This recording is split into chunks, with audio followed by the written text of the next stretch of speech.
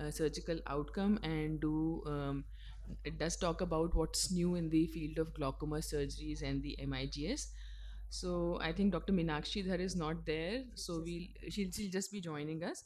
So we'll begin with the first talk by Dr. Debashish, who will be talking about incorporating latest glaucoma surgical devices. Dr. Debashish? Okay, so I think Dr. Debashish is not there. Do we have Dr. Lippi? Okay, so we, I think Sahiban, we'll start with you. So we'll have uh, Dr. Sahiban talk about angle detangle, 10 things I would uh, wish to know before I start my MIGS surgery. Yeah.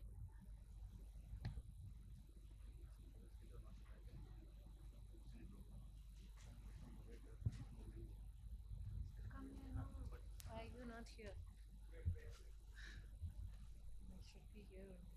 Try to you had Wi-Fi on 4G.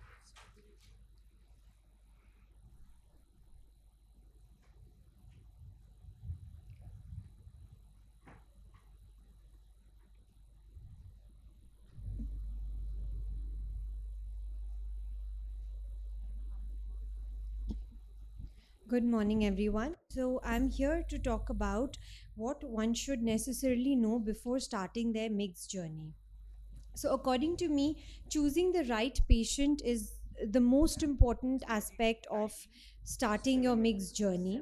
So, we all know that the best patients are mild to moderate open angle glaucomas, who in whom that you need a pressure reduction of um, uh, let's say um, 10 millimeters or so. So the target IOPs should be somewhere around mid to high teens.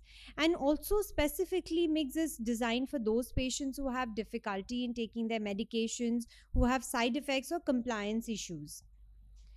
However, contraindications of MIGS are also there. Uh, it cannot be um, done in uh, juvenile open angle glaucomas, all forms of secondary glaucomas. It is not, all the devices that are available for MIGS are not licensed to be used in primary angle closure glaucoma. The next most important thing would be adequate pre op assessment. And I cannot emphasize enough that um, when we say that MIGS applies to mild to moderate open angle glaucoma, we mean that the staging is done only on the basis of visual fields and not on the basis of how high the IOP was or how many anti glaucoma medications the patients was on. Also, it's important to remember the fact that the inability of MIGS to bring down the pressures to very low teens uh, also limits its use in advanced glaucomas and normal tension glaucomas, at least the, uh, uh, the MIGS procedures that are available in India. Also, in the pre op assessment, be very sure to rule out uh, any corneal opacities, haziness. Uh, ensure that you have a very crisp view of the angle. The angle is devoid of any peripheral anterior synechiae also um, uh, so now i think i have changed my practice from doing migs post cataract surgery to doing migs any form before the cataract surgery because instances like these also happen where at the end of cataract surgery you encounter corneal edema and there could be high hyphema with your attempt on starting the migs and then the angle uh, view is absolutely zero and you cannot proceed and there are times that you may need to abandon the migs procedure also take a very good history of patients being on uh, blood thinners and take uh, uh, measures intraoperatively accordingly it's also very important to familiarize yourself with the correct positioning of uh, MIGS patients. So, MIG, uh, for MIGS, the, the surgeon is sitting, sitting temporally. The patient's head is turned 35 45 degrees away from the surgeon, and the microscope is tilted 35 to 40 degrees towards the surgeon. The kind of view that you want to get is the face view, wherein you have three distinguished bands of trabecular meshwork, scleral spur, and ciliary body band.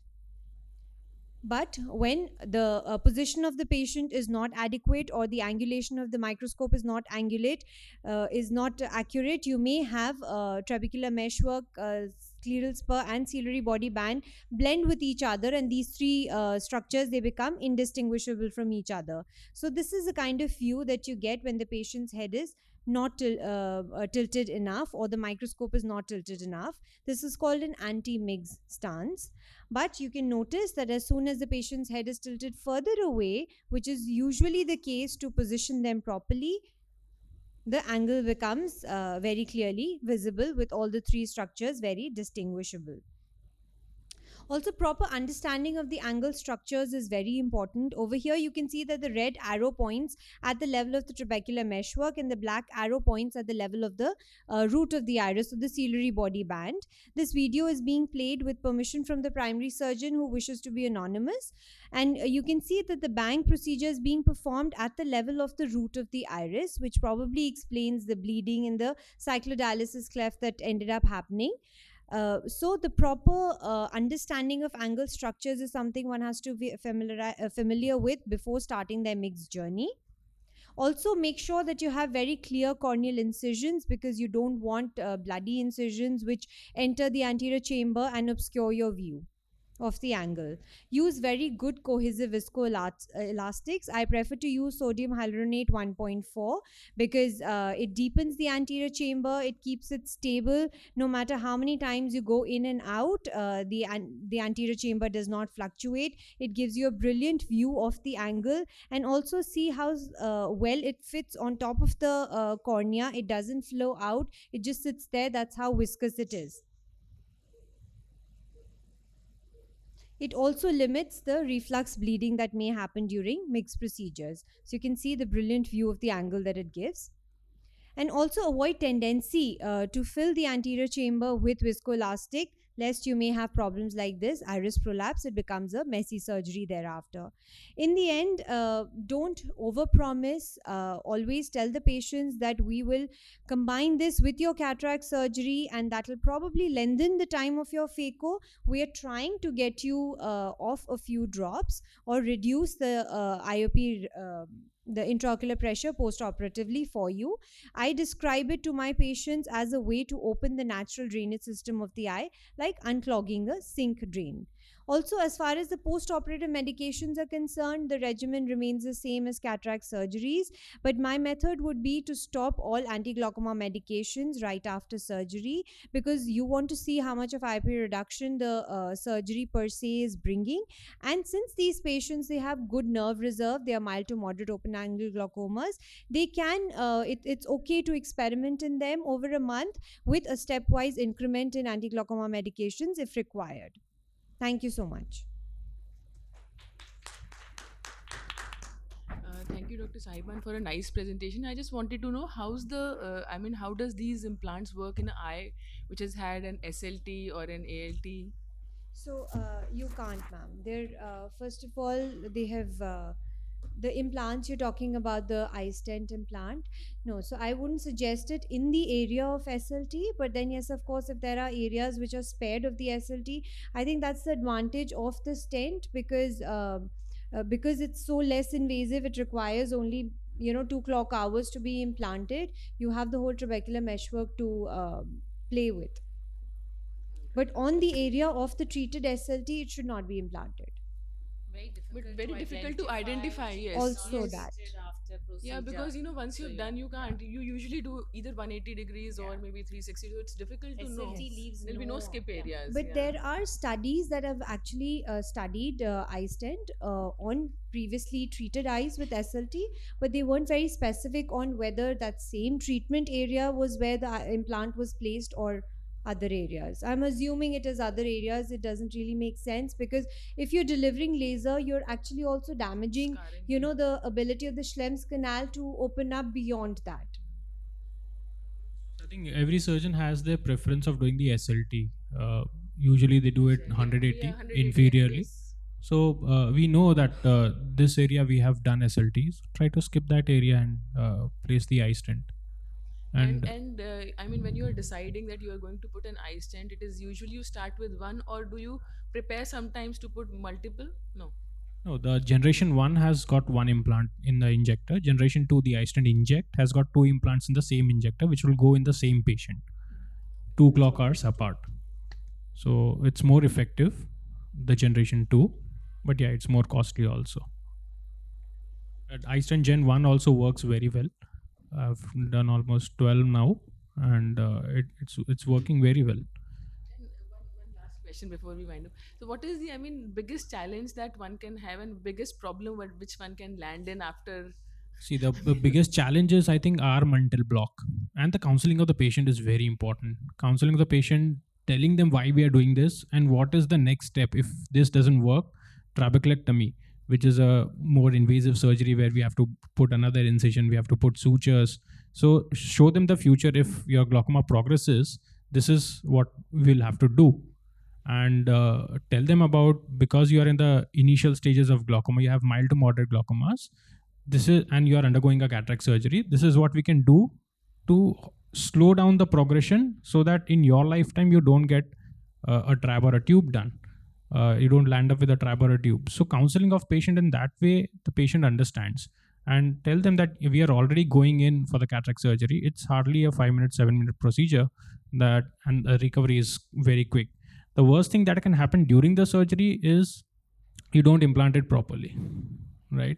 So with generation 1 if it is under implanted if it is not implanted properly you go hold it back and just besides where you had planned initially implant it it's plain and simple. Uh, You not can pick it up and reimplant you it can now. easily pick it I up think and for the first few surgeries, it's a good idea to keep a backup. no, But uh, yes, over implantations and under implantations are a known, um, uh, you know, learning curve challenge that one can have. yeah usually with the generation 1 you won't have an over implantation you can have an under implantation but not an over implantation but like saiba told over implantation can happen with generation 2 uh, they inject and if that happens that's the worst thing that can happen.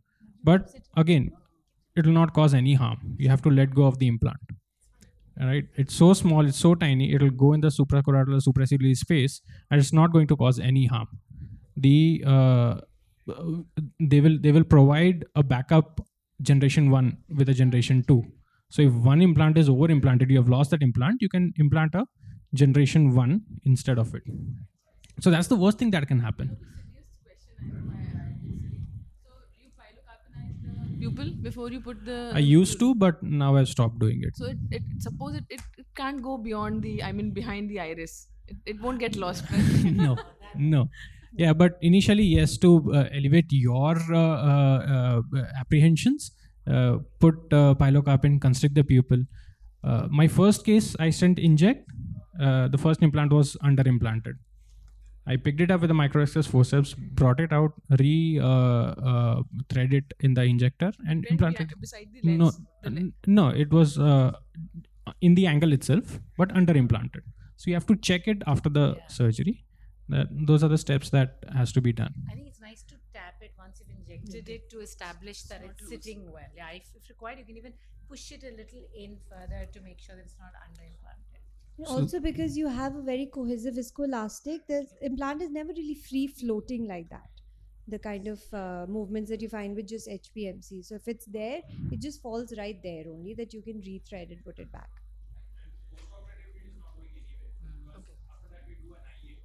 Yeah. yeah yeah yeah so that it'll come out it, it is loose It'd be interesting if you suck it in. i know Our next speaker is Dr. Parul Soni, who will be speaking about improving outcome of trabeculectomy.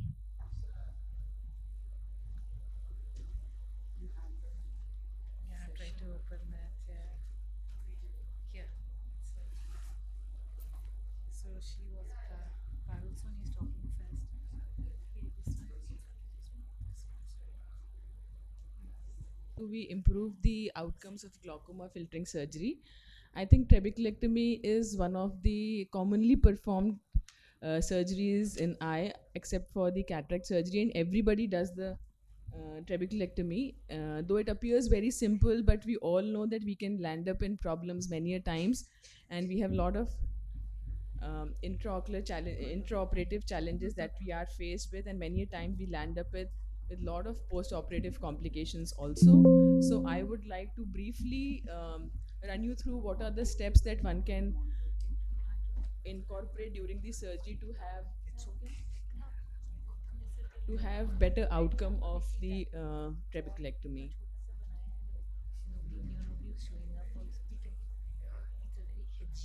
All right.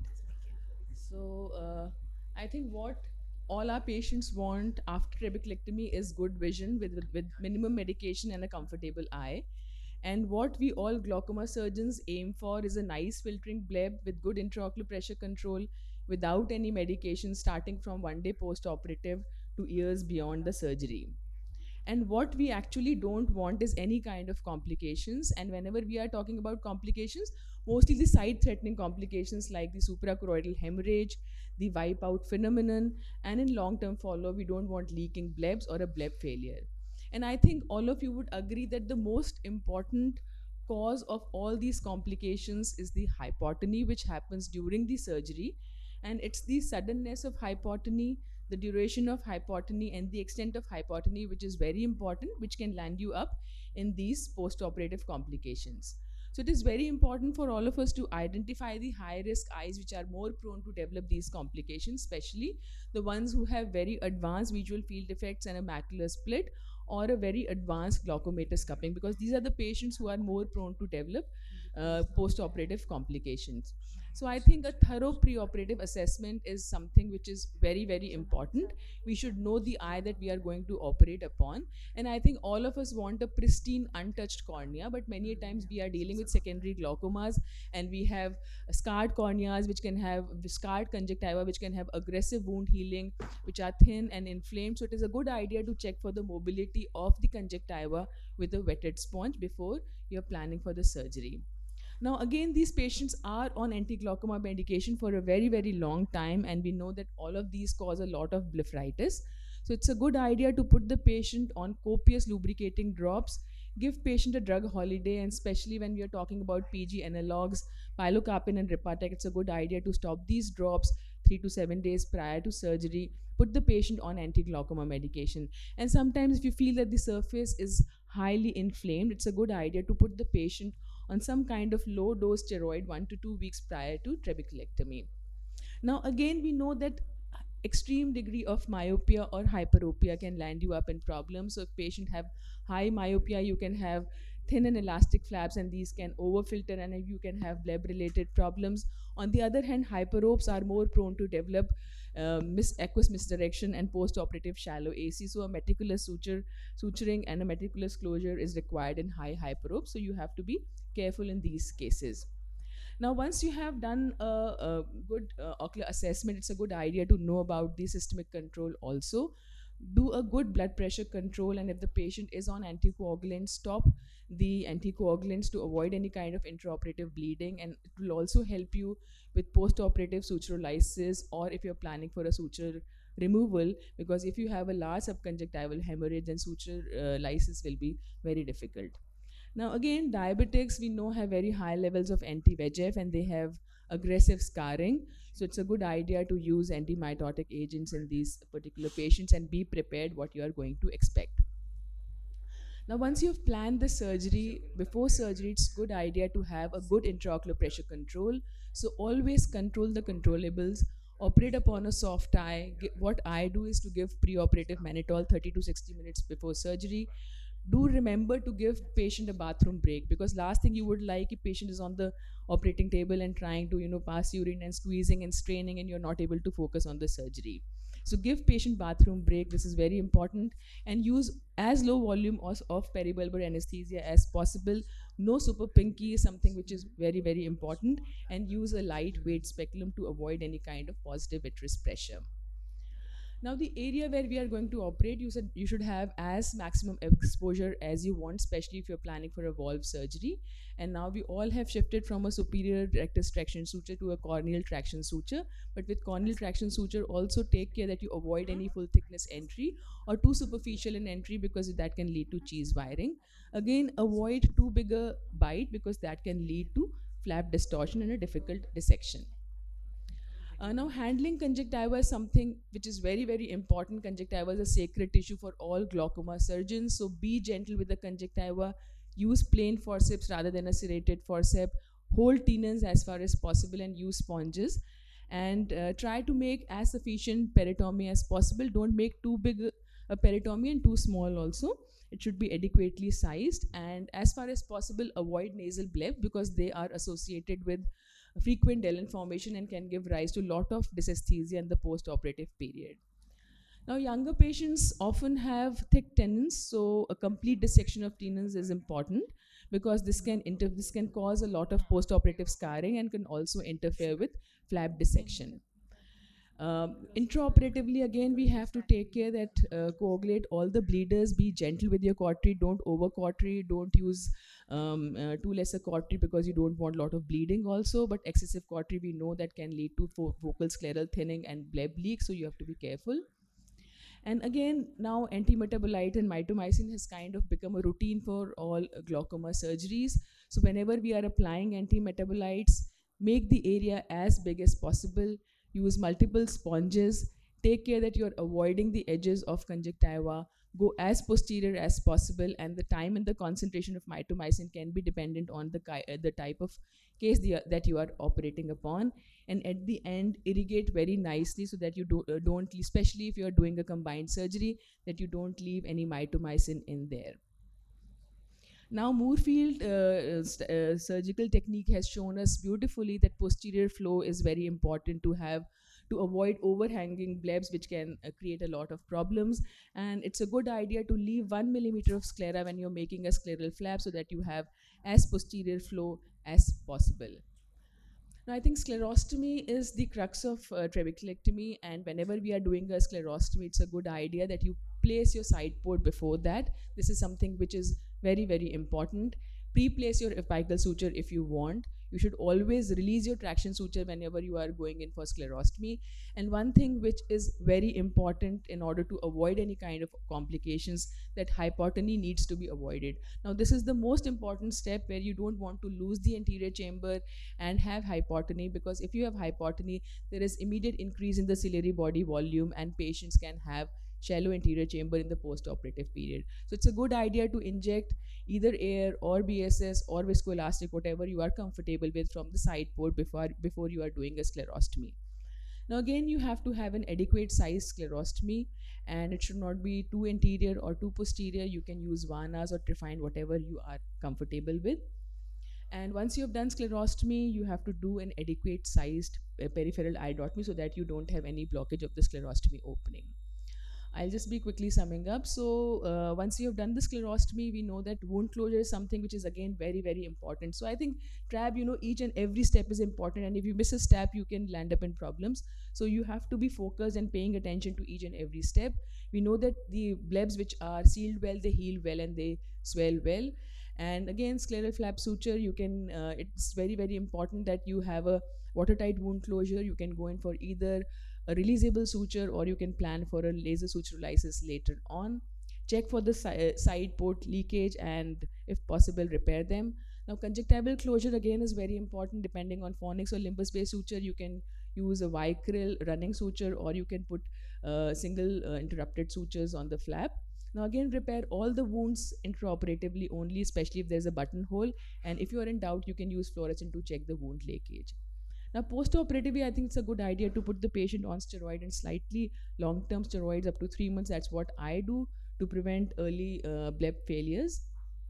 And again, if you have done a uh, releasable suture, you can go in for suturolysis, especially if the pressures are high starting from one week post-operatively, or do a laser suturolysis depending on what kind of suture you have placed this is something which i usually tell teach all my patients is digital massage which is um, described as carlo traverso maneuver in which patients are taught to do gentle massage on the um, in the eye on the globe especially on the area opposite to the bleb so that the bleb continues to be there and continues to uh, function nicely. And i've seen that this shows good results in maintaining the successful outcome of trabeculectomy so I think each and every step is important, and you have to do careful pre-planning, make tailor-made decision, as we know that every patient is unique, and give a, give every patient a diligent post-operative care.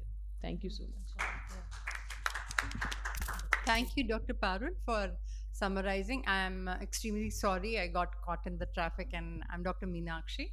And uh, uh, each of the things that she elucidated uh, is very, very important. I think uh, are we having discussions while the topic is on? It Yeah, makes more sense. idea. Any questions for, from anybody? Yeah. Ma'am, I want to know from the panel how many, uh, how many of you have moved on from using mitomycin sponges to preoperative injections of mitomycin C? That would be my first question. One, I think one suggestion which I've also realized over some time in private practice is that uh, laser suturolysis is not very comfortable. It's not always very successful. So I moved on from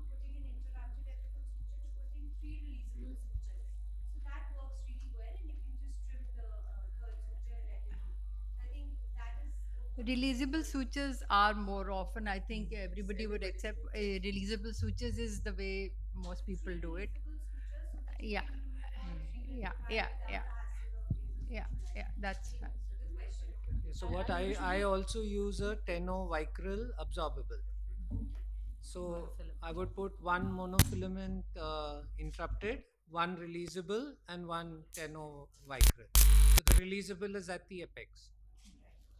So that that you want your bleb to go posteriorly.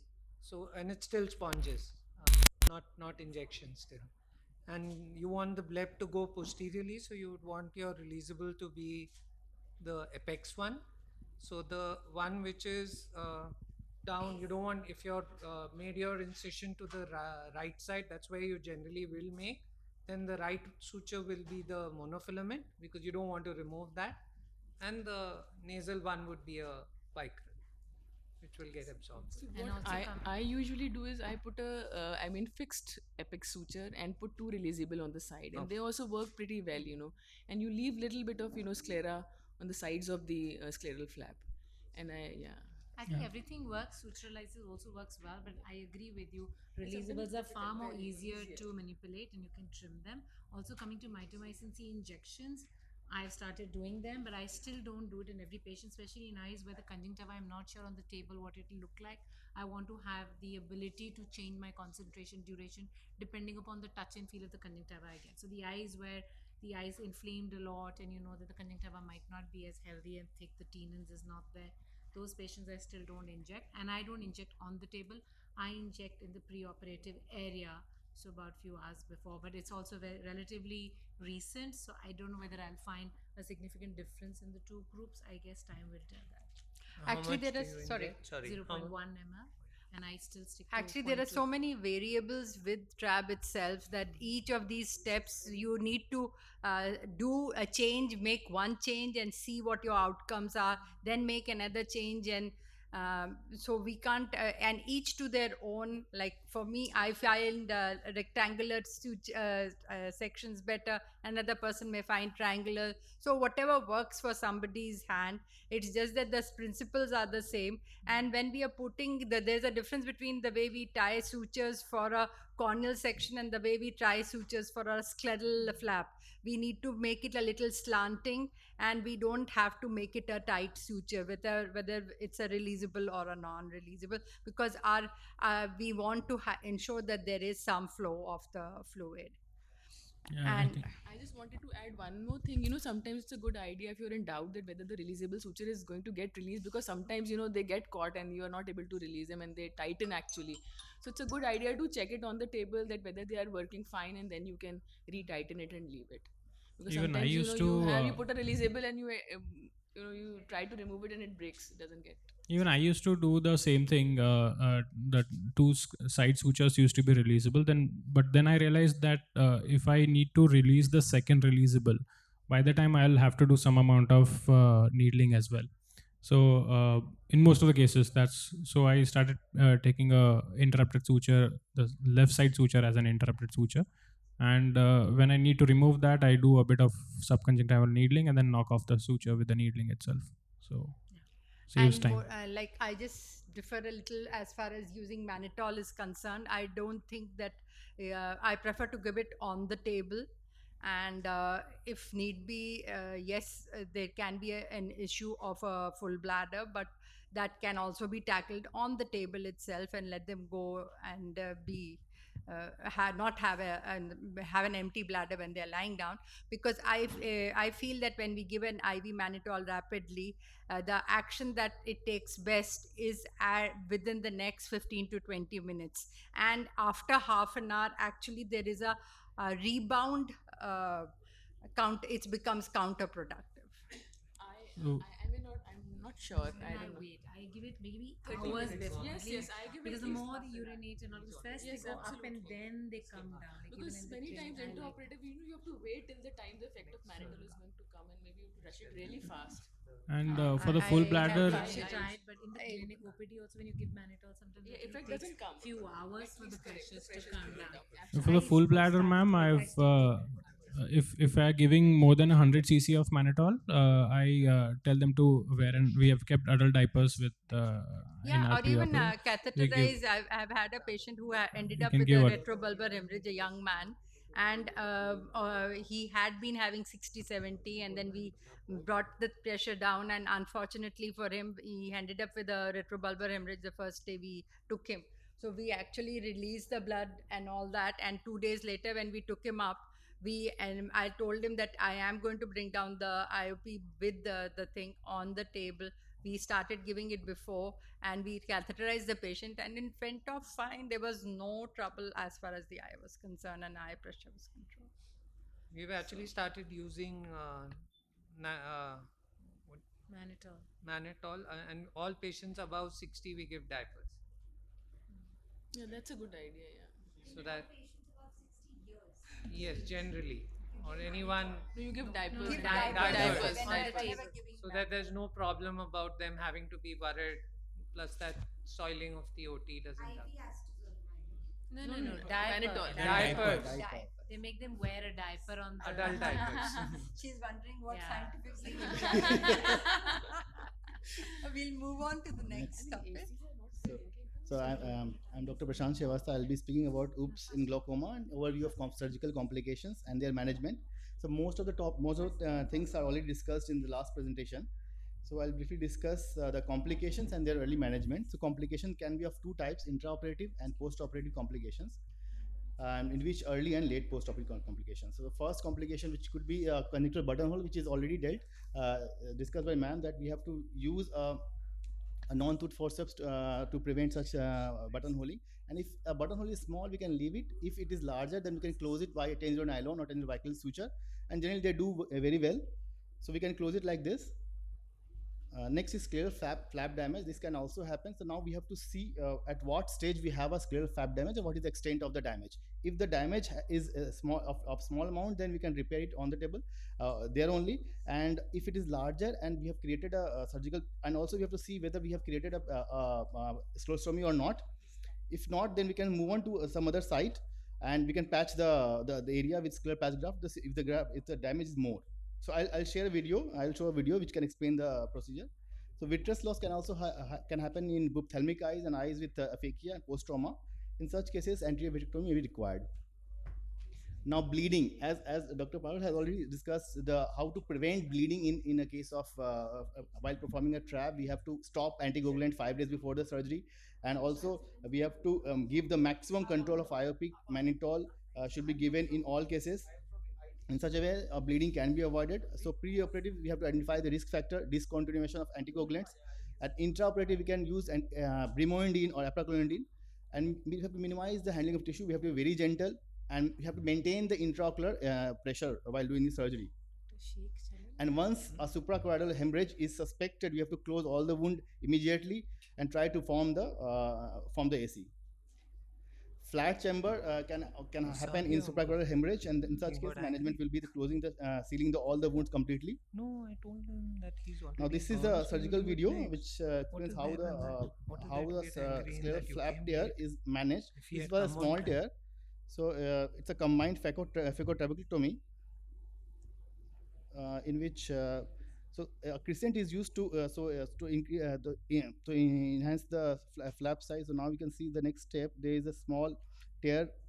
Well, so this uh, this tear is formed in the, in the sclera. So what what is the next step? So we go deeper uh, in the sclera. So next plane is selected. We go deeper, and sclerostomy is done anterior to that that area which is affected, and the rest of and that's and the rest of steps are similar to that of the normal normal trabectomy. The defect is closed by 10 nylon suture, and this this patient uh, did very well. So it's a small tear which can be uh, repaired very easily. So next uh, next complication which I would show is uh, premature entry. So this is a case of childhood glaucoma in which this these eyes are really uh, bigger eye, so the sclera is very thin. So in buphthalmic eye, sclera is very thin. It's difficult to make us uh, flap sometimes because of thin. So this is sclera is very thin here, and while uh, making the flap, there premature entry happened. And then what what is the next step? We form the anterior chamber, and then further. Uh, and after placing the pre, uh, pre-placed suture, then the PI is done at different site, and then the wound is closed. So the conjunctiva is closed now. So this patient also did very well. Uh, now next coming to the post-operative complications. So in the view of time, I have only uh, I'm seeing only two two uh, two cases. So this is a 54 year female which had a, who had a primary open glaucoma and IOP on maximum AGM. So TRAB MC was tried on third post-op day. So uh, the wound is leaking. You can see, Seidel test was positive here, and wound is leaking. So it's a case of wound leak, which is very common complication of a limbal, uh, fornix-based uh, uh. So the first, once you see there is a, a wound leak, the eye should be patched, and we can see the patient next day. Uh, so the patient was uh, seen on the third day, the, and eye was passed and called fourth day. The leak was still present. Then a large side BCL, generally 14 to 16 millimeter. 16 millimeter is ideal, is applied, and then we can follow the patient.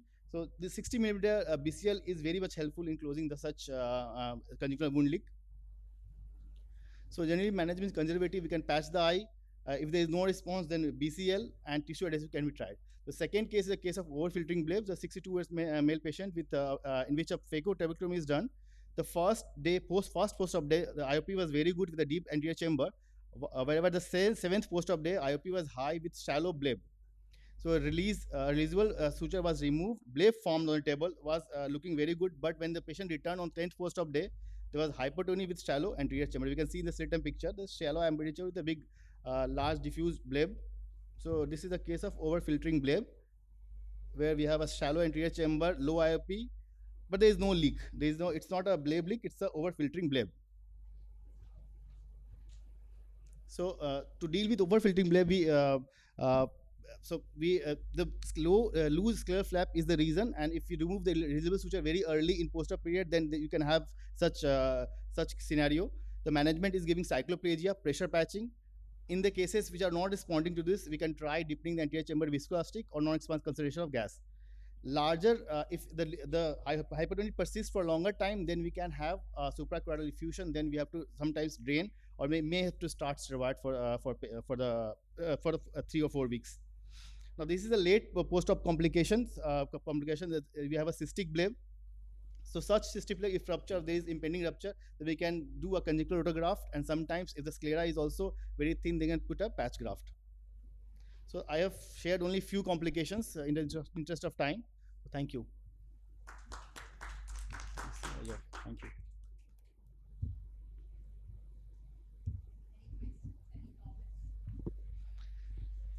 Yes, ma'am. Uh,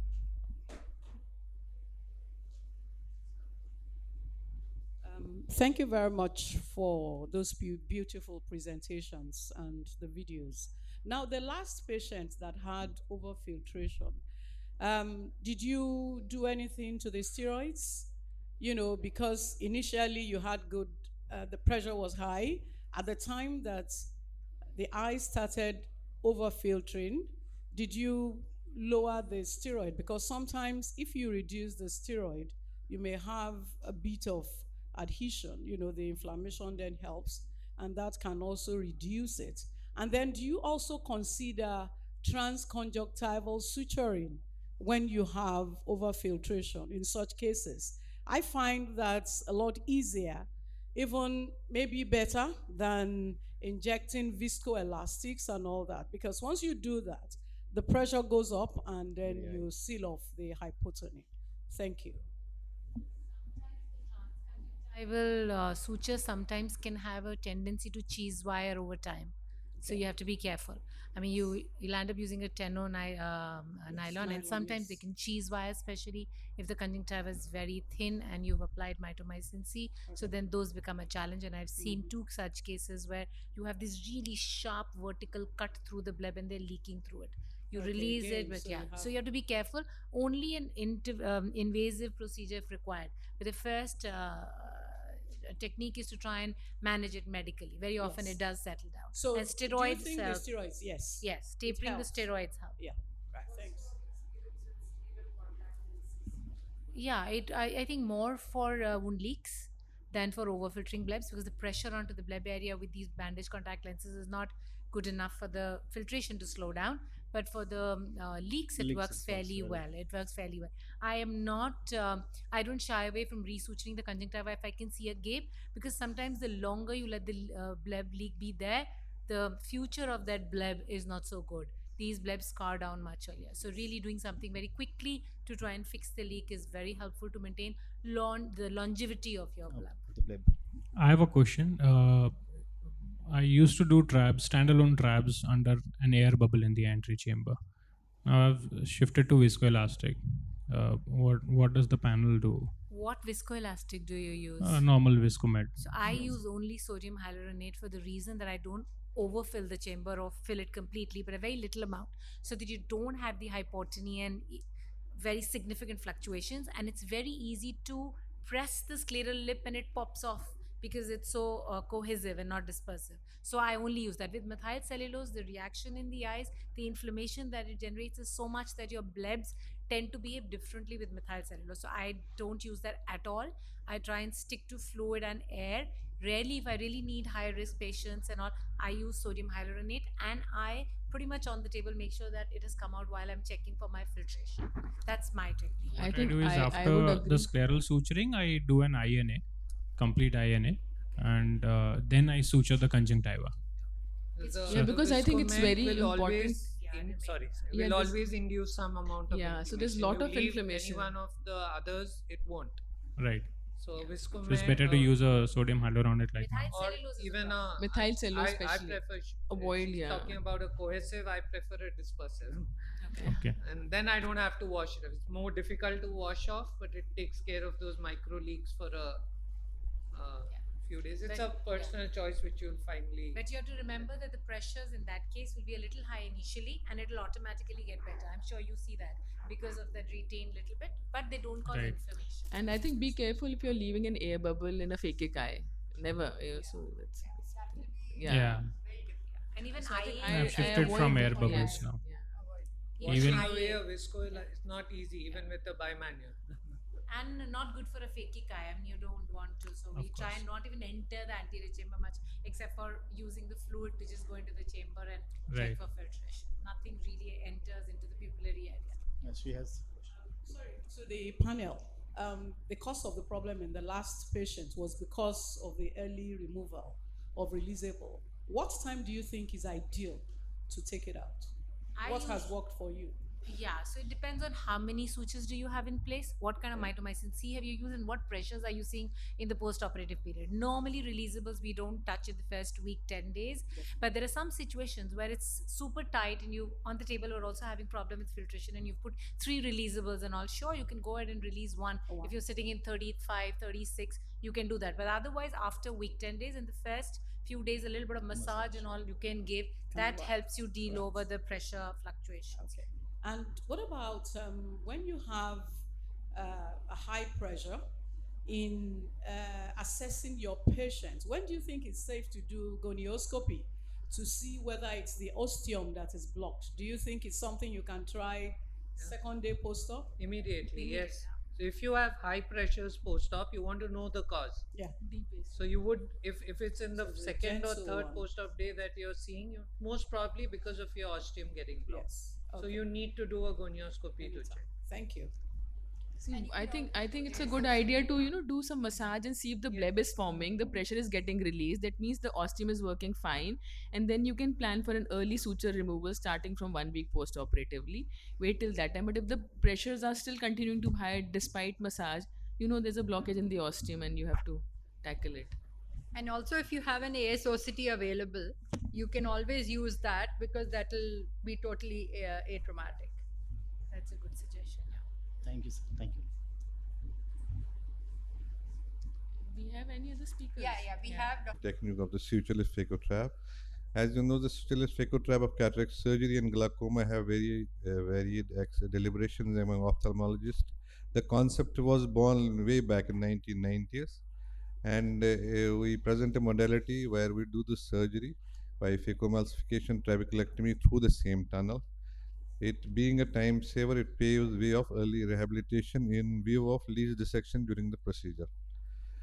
The study was done in SKIMS Medical College, Srinagar. 40 eyes of 40 consecutive patients were operated. All the intra and post-operative uh, sequence were studied, and uh, the combined procedure was done in borderline control with maximum tolerable medical treatment and significant cataract of the patients. and when two operations were not feasible at separate timings.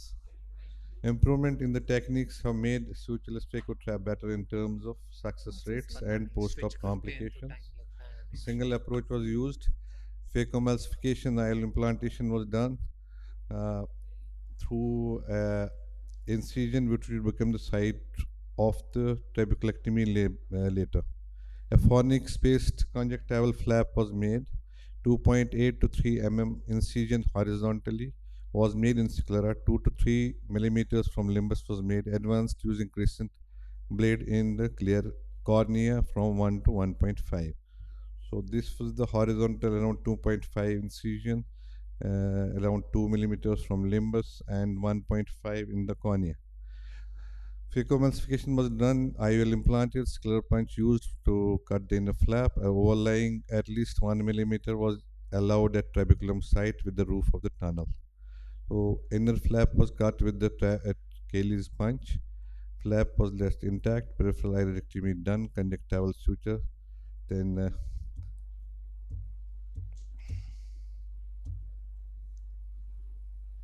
the video is not running.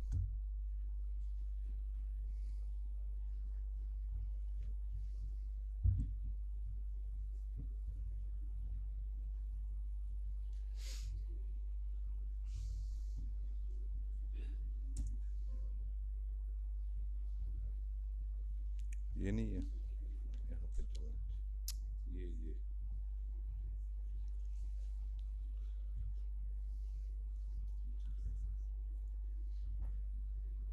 separate. Started with the phacoemulsification as usual with the continuous curl linear. It's not. It's not coming here. क्या किया है?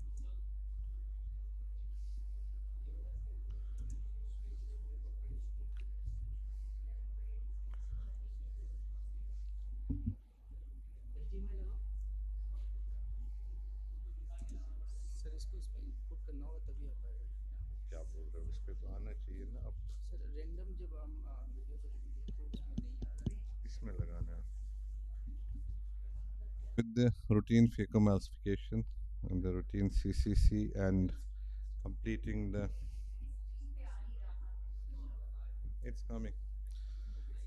So starting with the yeah sickle incision around 2 to uh, 2.5 millimeters from the limbus horizontal it's 3 millimeter 1.5 into the cornea. Then uh, starting with the routine hydrodissection and phacoemulsification so the chopping was done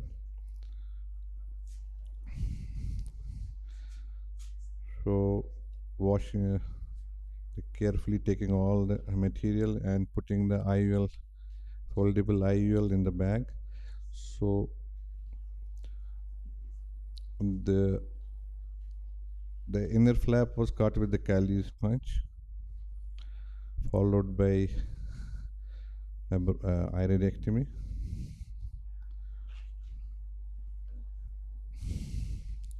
So this was around two punches horizontally, two punches vertically, just short of the posterior flap, posterior incision just to prevent iris prolapse as well as the overfiltration. So after this, we tested the free flow of the fluid, aqueous fluid, and uh, then finally we closed the conjunctiva with a single nylon 10-0 suture.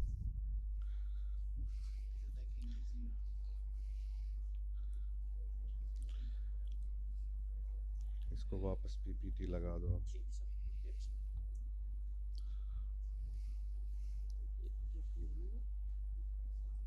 हाँ So this was the uh, picture of first post-op day with the diffuse bleb iridectomy and mostly the average age was 63 67 no sex predominance. And pre-op pressure from 32 it went by 6 months around 19 millimeters of mercury. So the drugs which patient was using around three drugs it went almost to no drugs.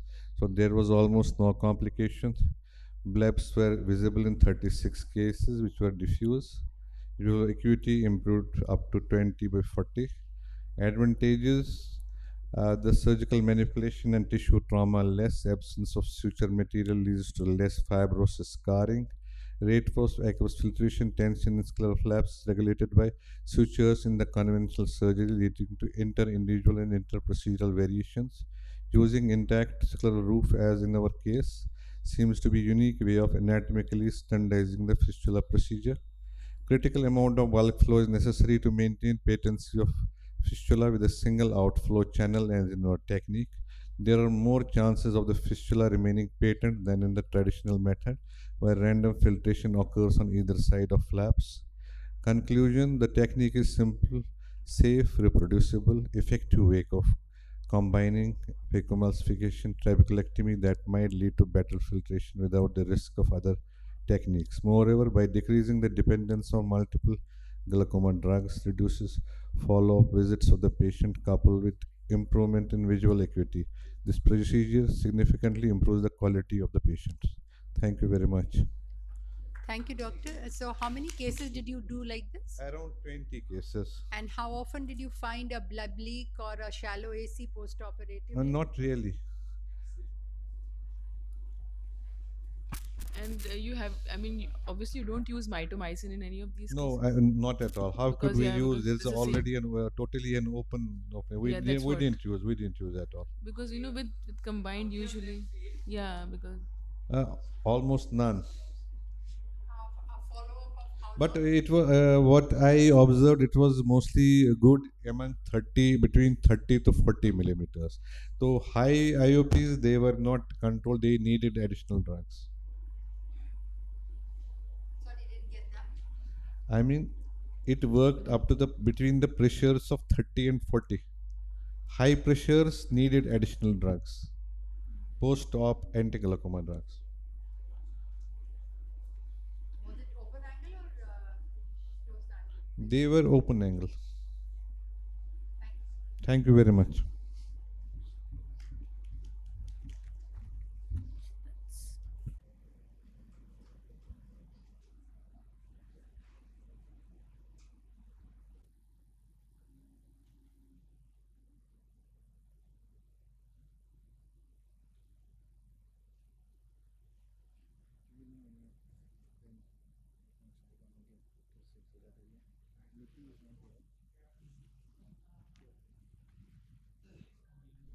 Yeah. So I'll be talking about uh, GATTs, a case scenario. Uh, this in case of an GATT in advanced glaucoma. The 60 years old female uh, patient, uh, PAOG, and uh, she's on a, since 2000, she's on medication of Cosopt, Alpha and Xalatan. The vision is 66 and IOP is 2119. Uh, CCT is low, 487 and 482. Goni is open angle and the point nine cup in right eye and near total cup in left eye. This is the field of the patient and uh, advanced field with a narrow uh, tubular field with macula split and right eye compared to left eye. And uh, so the doctor is active practicing in Doha and she is high teens IOP, low CCT, 0.9, tubular field, split fixation and refer for trab. What do you want to do? I, I thought I think trab will cause a di- disaster for us because she's still active and she didn't come for the review and I just plan to do a phaco guide for her. So I finished the phaco, then I, I put a uh, use a 6 6-Prolene and then use a direct gonial Swan Jacob gonial lens. Then I use a 24 gauge needle to make an incision at the uh, make a make incision at the anterior part of the posterior uh, trabecular meshwork. Then you then you just look at the Schlemm's canal. You can see the white line. The Schlemm's canal is visible. So once you know the Schlemm's canal, then you deepen the anterior chamber again with high, high density viscoelastic. Then this is the one I use a masculine forceps, what the retina case uses for, uh, the, for ILM peeling. I use this forceps to tunnel this uh, uh, 6 Prolene to the Schlemm's canal. So once you're in the Schlemm's canal, you'll have some resistance. Uh, Once you cross more than 90 degrees, you are sure you can be in the uh, it will not go very easily. There will be some resistance will be good indication that you are on a Schlemm's canal. So once the suture comes 360 degree, you are happy, then you can just then one can just see a suture other side, then just pull it out. So then after that you just strip off this whole of the angle with the, the suture. Then you just wash the anterior chamber with your IA. Then you hydrate and make the wound a little more tighter. Don't make it hypotony. Uh, tighter, little bit of air bubble and little bit of tightness. So then you close the wound.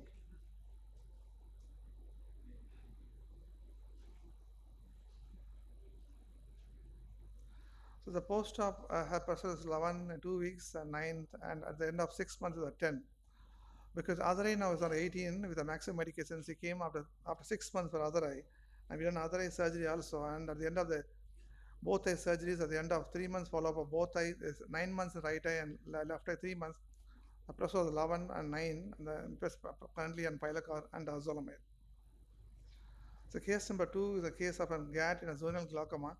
The typical 25 years old girl, zonal glaucoma with a pressure of 41 and 28, again CCT of 490 and 4- 490 in both eyes, open angle, and a maximum medication of Ganfort and Brinzox, and a poignant cup like this. We have advanced glaucoma like this, and patient uh, at the right eye is 0.9 and left is 0.8. And this is the field effect of the patients. I think a little bit of uh, the, the, the, the fixations are near to the center, especially right eye, and compared to left eye and this is a left eye fields and this is an OCT definitely shows a lot of nephrobilas on right eye compared to left eye. So I underwent trapped the mitomycin C and post-operatively in two weeks, six, uh, two months a hypotomaculopathy. The pressure is four, developed cataract. So, so we manage conservatively, but after three months it comes with a pressure of 45 in other eye. So now what do you want to do? So it's hypotomaculopathy in one eye, young patient, and uh, so I just done a I just hypotomaculopathy confirmed the right eye. So uh, I, very high IOP, a pointed cup, and uh, what do you want to treat for left eye? So I done a, a plain GATT for her. So I just had a enter 2.2 incision. I just entered the anterior chamber, made a two side port. This time I went my suture from, from, from, from left side. Use a Swan Jacob lens. Then I look at my angle anatomy. Then I'll just look at my anterior trabeculamus so I can make an incision. So that I deepen the, I just dip that area, see the Schlemm's canal nicely. Then you just put the suture, uh, six Prolene suture to the Schlemm's canal. Then use the masculine forceps to uh, guide the suture in. So once you get the suture, it goes without uh, the, the suture has to go little little firm, not very loose, not very tight. So if you're very loose, that means you're going to supraclavicular space. If you're too tight, means some other space. So once you get this to the, you can see a suture other, other side. So once you get the suture in, uh, see, then you just pull the suture out. Then you three, 360 degree of trabecular meshwork. So once you done the paste and then again you just wash it off with your irrigation IA. Then form the form the chamber tight. So her her post op uh, the, the day one uh, day one week is 12 in left eye, right in right eye is three because hypotomaculopathy. One month is 11, and the three in one month post op because of hypotomaculopathy. So the case number three, we are also learning in a PACG in angle glaucoma. This is a nurse who came with angle glaucoma with a with a cynical angle closer glaucoma. So we started exploring. This is use a Tanito microhook. No, use a Tanito microhook to do the goniosynechialysis. It just remove the synechiae. So this is a big pass in the temporal side. So when the other side, then this remove this Tanito microhook, remove this big pass. So once you remove the big pass, then you are sure that your your synechial closure uh, has taken care. Then you use a Swan Jacob lens. Then you use a uh, high viscosity solution. Then you look at the anterior part of the trabecular meshwork, make incision there. Then you just deepen, uh, then deep that area. Then you see a Schlemm's canal. Then you just thread it off. It's more more happiest thing when you when you see a especially a suture other side, especially the angle the angle of the glaucoma, because one thing is less complication of, of trabeculotomy, and you can you can take out the lens, you can give a, a pressure reduction of less than 15 with a single medication. They are much happy, and you are much happy. No, just pull the switcher out, and this way, we are also learning in a in a GATT in a PACG cases, and uh, more more interesting to do in a, in a PACG.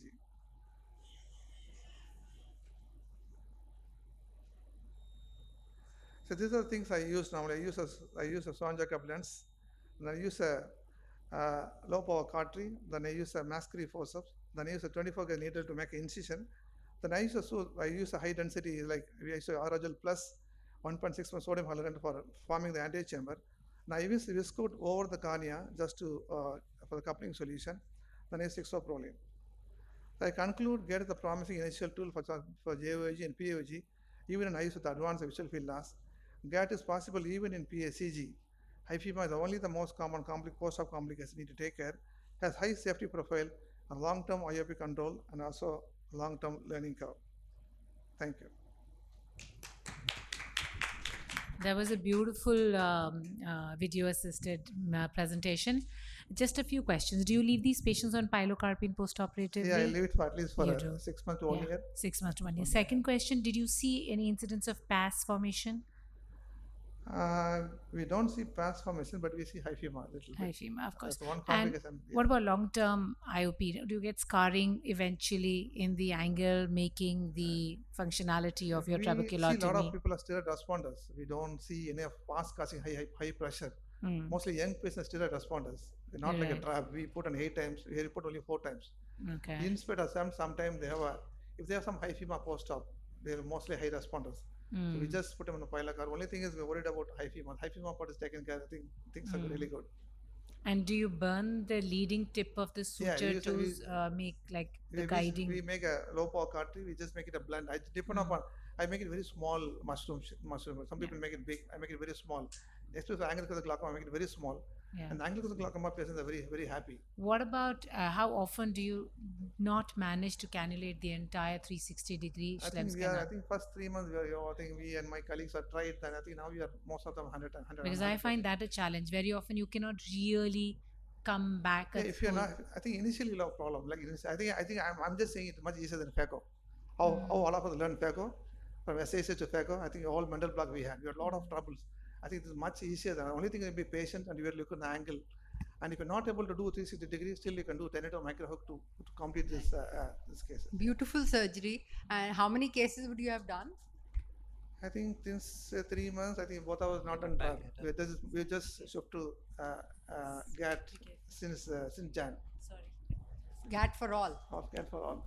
No trab. no trab. Just one question that for um, PACG patients, Dr. Mohinuddin, for PACG patients, you had released the synechia. Yeah. So if they're, I mean, it may not be possible for uh, releasing the synechia 360 degrees. I mean, jitne But I think so, once I it mean, to canal, you have to I think- release all of them before you. I just do- with the big PAS, I just release it. If there is only a PAS in the nasal quadrant, I just release it and put a suture to the sinus canal. So that will Once it goes to the take- canal, it comes out. Only problem is that sometimes the iris will be floppy, especially for especially for angular glaucoma. Iris will be coming out. So need to because you'll be, putting a lot of visco uh, to deepen that angle. But the temporal side, the iris will keep coming out. That's one problem. Sometimes make a small hole because of mental manipulation. The small temporal side hole will be there. But you, I think, I think as you as you grow, uh, the more the more cases you do, the more cases you do, I think much. I think all of us will sometime will turn to go to GATT from trab. How will it compare with Bang? I don't know. So Bank is the the one all of us learn in bank. So all of us are, all of us initially saw the angle. We just use, we all learn. Once you get this feel of putting a switch with the Schlemm's canal, once you get 360 degree out, you're a phaco surgeon like we say, a GATT surgeon. So, um, are there any cases in which you sa- said, no, I won't do it? No, we, uh, I think we, we told we'll not do trab. and what is the instrument that you're using? It seems to be totally under your control. It's a mascary forceps. So the retina case uses, retina case is used for, for ILM peeling. Which company? Um, uh, Alcon. Alcon Island Yeah, Peak, yeah. okay. I think I'll get from retina colleagues. They- They'll be using right and left. You can get from them, slowly can use it up. Yeah. Thank you so much for Yeah, the lovely yeah, talk. yeah. Next, we have Dr. Reena. Huh? Yeah. Yes, PAS. You will have the PAS in the GATT, especially in the fake. I don't think we have any cases, but fake eyes we have to we have to be careful, especially we're dealing with the juvenile angle glaucoma. They develop the PAS, but uh, again the key for that continuum pilocar for longer period of time, three to four months, you won't get that PAS. Yeah. One Next, we have Dr. Reena Chi, and it was a pleasure watching the previous presentation. Um, so, yeah, there I am. So, I'll be talking about iStent. We've already heard uh, Dr. Sahiban talk about it. So, some of it might be. Um, okay. Is it working? Sorry, it's not working here. Can you just look at it? My cursor is not showing to cancel this. We have a smaller screen, but the resolution of this is Ah, not finally better. it's So it was यहाँ पे such चल a रहा easy है ये। seeing the surgery. Wait. यहाँ पे बंद करते हैं. Now let's see. Is it working now? Sorry about this. Yeah. Yeah, finally, I think now it's working. So I'll be talking about eye stent, and I think basically to just introduce that in primary open angle glaucomas, we basically treat our patients medically, and in some cases, we offer the laser basically in the form of SLT or ALT. And then straight away, the second options available or further options available are surgeries like trabeculectomy or tubes and shunts, which are offered in the slightly moderate to severe disease when you can't control the pressures or patients cannot uh, use the topical medications. So we also know that medications, the challenges of compliance, cost, multiple drugs, quality of life. And if you look at basically the um, stepwise approach, the surgeries offered in traditional ways are basically trabeculectomy, the gold standard, and the trabs and tubes. But in mild to moderate disease, we are primarily limited to our drugs. But now, in the last few years, we have the MIGS platform showing up where we are looking at the uh, possibility of offering some procedures to lower the intraocular pressure in mild to moderate uh, cases of glaucoma. Uh, this is just to highlight the challenges sometimes with topical medication, and now the threshold is becoming much lower to offer a surgical option in patients where you have multiple drugs requirement. So MMT, which was first considered four drugs in you know maybe three bottles or two bottles, now it's pretty much in many surgeons' eyes is limited to about three drugs in two bottles. So uh, we also know that these drugs have their own challenges, not just compliance, but the fluctuations of IOP is a problem, systemic side effects, local side effects in the eye, and of course sometimes it's uh, the cost and otherwise also the effect on the ocular surface that these patients do not comply very often to the required treatment. So this was an article uh, by Dr. Sunita Dubey et al. Um, at the Shroff Charity Delhi, and they also documented that in Indian scenario, 50% of the patients do offer us full compliance, but the remaining 50 are either, either partially compliant or not compliant at all. We also know that the fluctuations do affect the visual field progression, as documented in this very popular uh, study by Asrani et al. And of course, the ocular surface disorders with the drugs uh, is something that we see every day in our clinic, and we know these patients are very much affected by the symptoms of the ocular surface rather than the problem of glaucoma. So, that is also a problem that we should be attending to. So, what we are talking about is that MIGS is here now and it's here to stay. We already heard uh, um, just now a presentation on cannulating the Schlemm's canal. There are other procedures that we are all doing, whether it is GAT or we are doing trabec- uh, we are using we are doing the iStent. So in my talk, I'll limit myself to basically the iStent and iStent inject, which comes in between your first two stages, which is the medical management or trabeculoplasty, and before you offer a trabeculectomy. So basically, you're talking about mild to moderate disease. Dr. Sahiban already um, illustrated the indications for iStent. Basically, mild to moderate disease, where you're looking at reduction of medications by a single drop or two drops, lowering the pressures by about 20 to 30 percent. And these are eyes which are not vulnerable, which do not have advanced disease.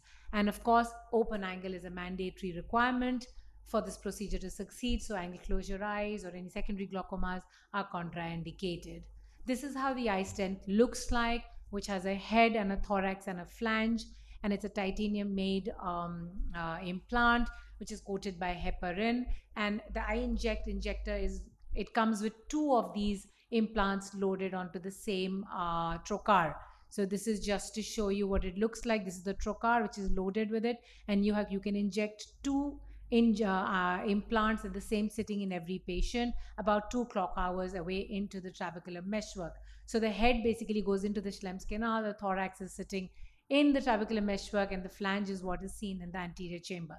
This is just a short video to show what it looks like. You already saw with Dr. Sahiban, the trocar actually punctures the trabecular meshwork. You indent it a little bit and you press onto the plunger and you click the uh, implant to go and sit in that position. And you can also tap on it to make sure that it's sitting and it's not under uh, implanted or over implanted. And I'll talk about it once I show you my detailed um, next video and you ideally want to see these two implants about two clock hours away and uh, very often you will have reflux uh, bleeding from these uh, implants, which is very normal and it settles down quickly. You can use any direct gonioscope in the operation theatre. Swan Jacob works very well, but you also have this iPrism SX that the company is providing along with the uh, iStent Inject, which works very well. So you can choose whatever works well in your hands. But the important thing is before you move on to doing the iStents, one has to learn to visualize the angle on the table. And that's the first thing that you have to learn to do. Even in routine- routine cases, you can try and um, understand how is it that you will learn to see the angles well. Basically, you have to tilt your microscope about more than 35 degrees, somewhere about 40 to 60 degrees towards yourself. Basically, the optics are moving away from you. And then you adjust your oculars to make sure that you're able to see the microscope in that angle and tilt the patient's head in the opposite direction by the same degrees so that then you are aligned to the angle and you want an en face image of the angle. This is just a video to show you that I'm sitting here and now I'm, my assistant is moving the uh, uh, this thing to dial to try and tilt the microscope. You can see that it's already tilted a little bit. Can you see this paper mark on the microscope?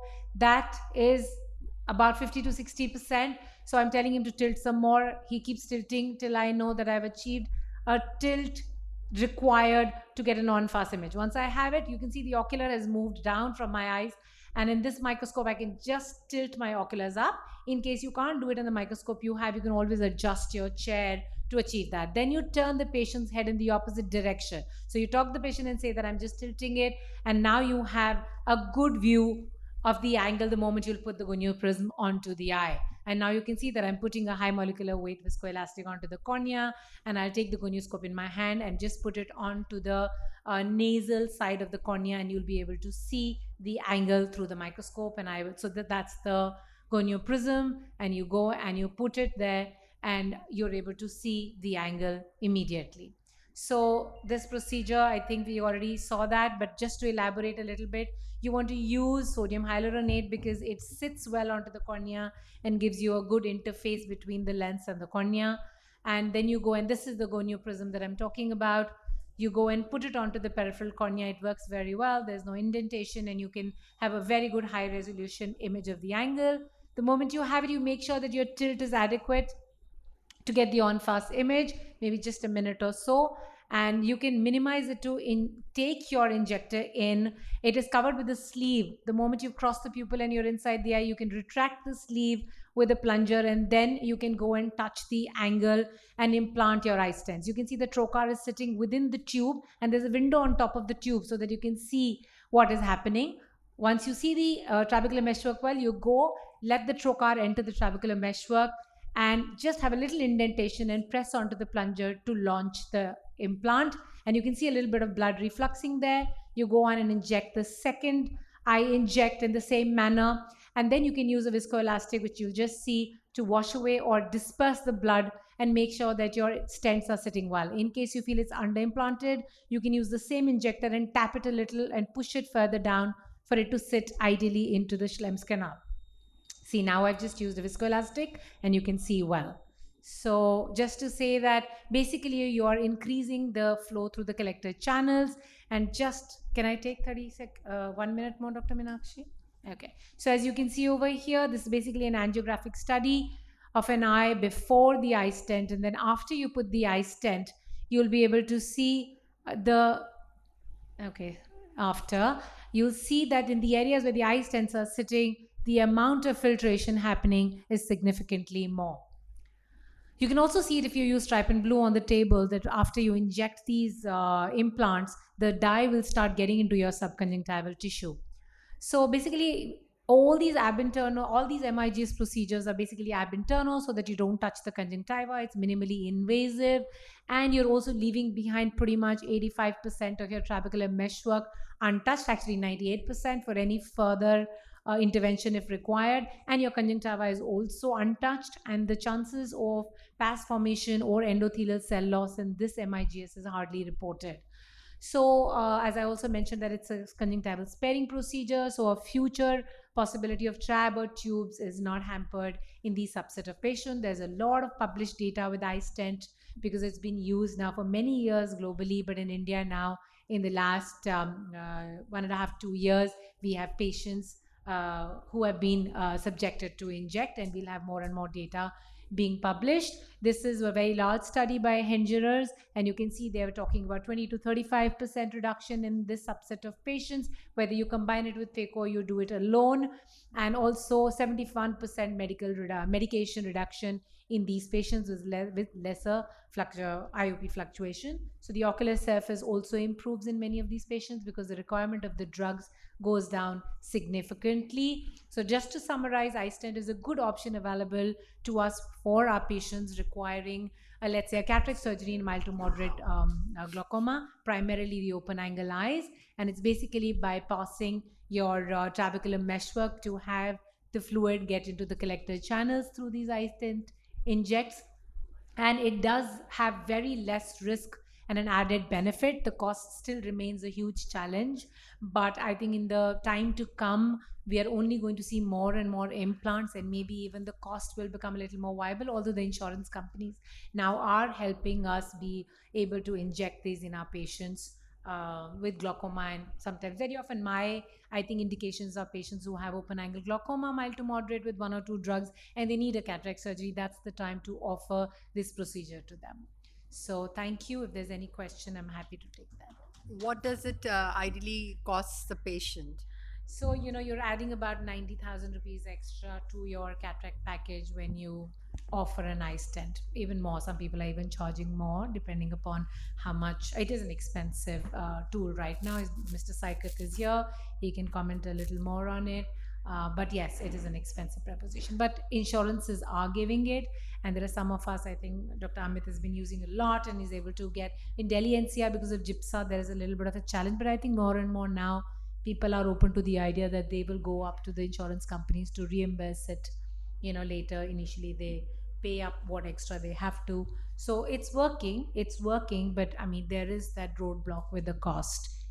And in the learning curve to master it, how long did it take? I think did if you have any fall? uh, yeah so of course with any procedure there can be a learning curve but generally technically this is not a difficult procedure to do at all it might look because you if you start doing it i think it's a matter of just a few a couple So of you never lost any. no i'll tell you what if it drops it's very easy to rethread it and especially if there is uh, sodium To find hyaluronate it? no while you're doing it see as we also were discussing before the session started if you lose it later which you hardly will then it's a different story. But if under visualization on the table you've seen it dropping you pick it up you rethread it you put it again. If you have put it in well you tap it. You can actually go tap it. It's quite nicely fixated over there. And you're doing an ia if it doesn't move out then it's not going to move out thereafter no. But uh, yes a learning curve and all sometimes also getting an en face image. I think we don't realize sometimes that you want the trabecular meshwork really perpendicular. If the tilt is not adequate and if you can see the angle but it's not en face then really getting into the Schlemm's canal is a problem. You might be tangential to the trabecular meshwork so the ideal placement might not happen. So anatomically you have to just learn to get the nicest image and the angulation go up to almost 50 to 60 degrees. Don't stop at 35 i think that's the key to have a higher tilt so that it's a little difficult if you don't have your eyepiece uh, you can't lift it. Then you have to kind of bend down move back to be able to and your hand length will increase. To access now you'll be sitting a little further away but these are small modifications you will quickly adapt to. And if the moment the trabecular meshwork is perpendicular and you want to inject perpendicular to it it'll launch into the Schlemm's canal The Anytime- cost. does it this, uh, yes, does it get blocked with blood or you know the because it's viscoelastic or, heparin you know- coated because it's heparin coated usually that's not an issue it's Not not, an an issue. issue yeah So the Not cost cost is uh, for the Gen one uh, is sixty nine thousand uh, is the MRP, and for the Gen two is I think one close to one point five, uh, and uh, that's the MRP. And uh, I think the hospital rate would be lesser, much lesser. And uh, uh, I've done iStents. I've done almost seventeen now, including. Uh, iStent Gen 1 and Gen 2, and almost 13 or 14 of my patients have been either fully or partially covered under insurance. So uh, that's something. Yet there is no capping on uh, these implants.